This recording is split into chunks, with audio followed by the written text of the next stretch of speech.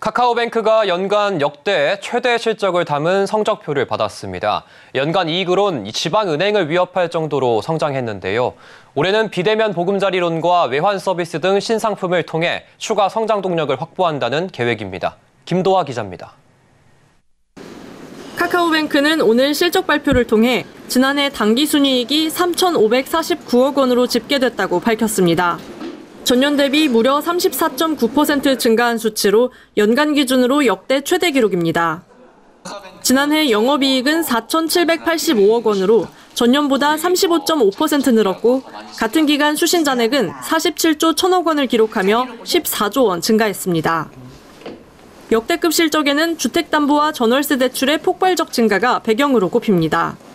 주담대 잔액은 3분기 8조 원에서 4분기 9조 1천억 원으로 불과 석 달 만에 1조 원이 불어났습니다.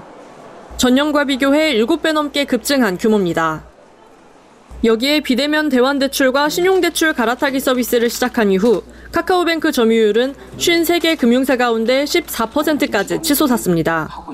특히 주담대 갈아타기 점유율은 24%에 달했습니다.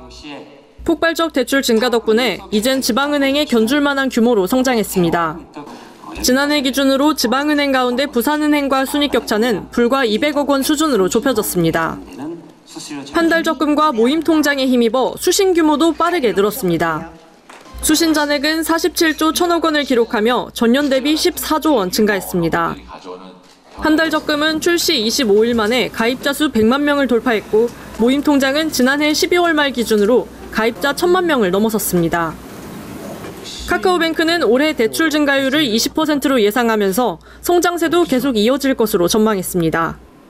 절대 규모의 성장에 따라서 약간의 하향 조정은 있을지언정 어, 굉장히 의미 있는 수준으로 여전히 어, 지속할 수 있다는 게 저희 내부의 판단입니다. 더불어 올해 금융생활 필수의 빈식을 확산하기 위해 100% 비대면 보금자리론과 외환 서비스 등 새로운 상품을 선보여 시장 구치기도 가속화한다는 계획입니다. 서울경제TV 김도하입니다.